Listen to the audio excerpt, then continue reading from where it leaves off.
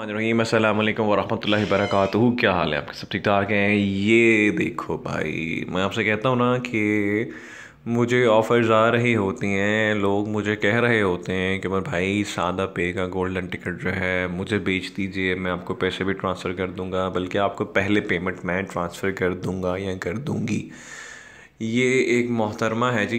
आ, आमना PUBG के name से उन्होंने अकाउंट बनाया हुआ है, उनकी सारी जो पोस्ट वगैरह हैं इंस्टाग्राम प्रोफ़ाइल पे, वो सारी की सारी पबजी वीडियोस की हैं। इनके मुझे मैसेज आया है I heard you are SadaPay founders club member and I was wondering whether you could sell me your golden ticket code ठीक है? वो यही कह रही हैं कि आप जो है जी सादा पे फाउंडर्स क्लब मेंबर हैं और मुझे अगर आप अपना कोड बेच देते हैं तो कैसा है?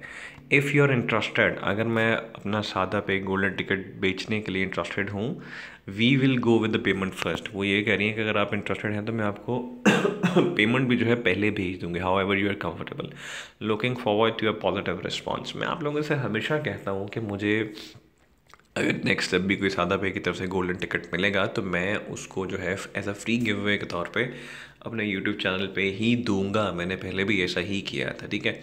और मैं हमेशा हर एक से कहता हूँ यार कि कोशिश करें, अगर आप किसी को फ्री में दे देंगे तो आप बहुत दुआएँ कमाएँगे। तो rather than selling you golden ticket code अगर आप इसको किसी को फ्री में दे दोगे तो आप बहुत दुआएँ कमाओगे। मैंने मैंने भी यही कहा है कि मैं ये नहीं बेचता, मैं इसको एज फ्री गिव अवे के तौर पर देता हूँ। अगर मुझे और भी मिलेगा तो इन मैं उसको as a free giveaway के तौर पर ही दूँगा।